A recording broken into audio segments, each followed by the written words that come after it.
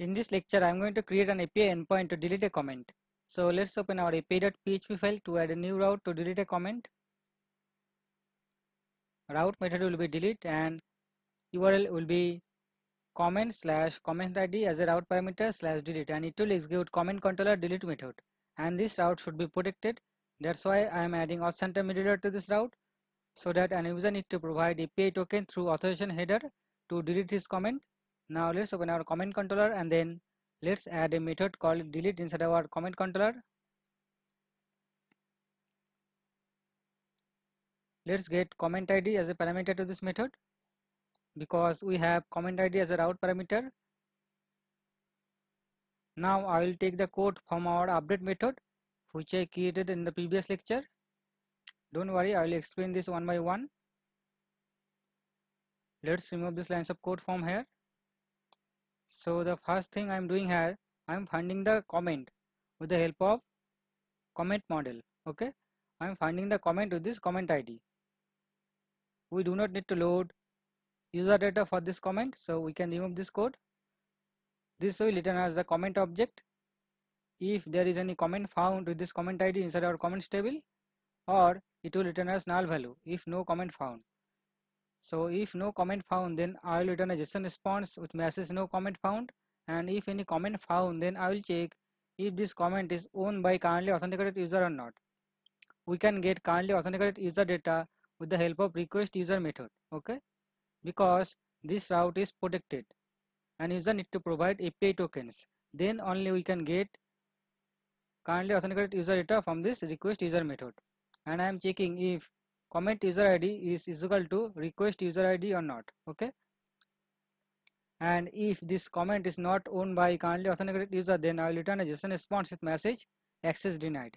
And if this comment is owned by currently authenticated user then I will allow the user to delete the comment okay? So we can delete the record with the help of delete method. And after deleting the record I will return a JSON response with message comment successfully deleted.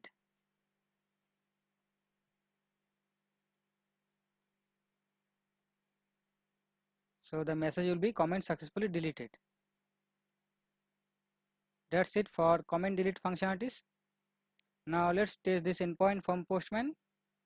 Let's open the Postman and let's duplicate this tab. So the method will be delete and the endpoint will be comment slash comment id slash delete. Okay? You see i am trying to delete comment id 4 okay? We do not need to pass any body so let's remove this. And inside the header we need to pass accept key as application json and we, we need to pass authorization header. And this should be the api tokens which we can generate from our login api okay. Let's try to delete this comment. Okay let's try to delete and uh, delete a comment which is not submitted by this user. I created this token for user ID 1 okay? Let's find a comment which is not submitted by user ID 1 so let's try to delete this comment of ID 6 okay?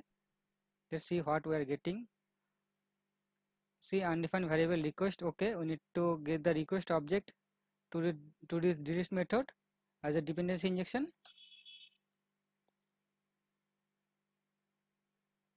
Let's try to execute this endpoint again. You see now we are getting access denied message because this comment is not by not owned by user id 1 okay? We are passing the token which I generated with the credentials of user id 1 okay? So this user can delete only his comments right?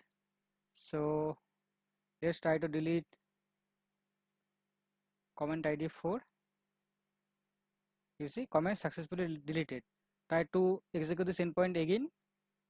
Now you see we are getting no comment found. That means this comment is already deleted okay? So our comment delete function is working in the next lecture, I'm going to add comment count for each blog and I'm going to add short functionalities with the help of comment count. comment count. I'm going to modify this get blogs api i'm going to load comment count for each blog and i'm going to add short functionalities with this comment count inside our get blogs api okay? So stay connected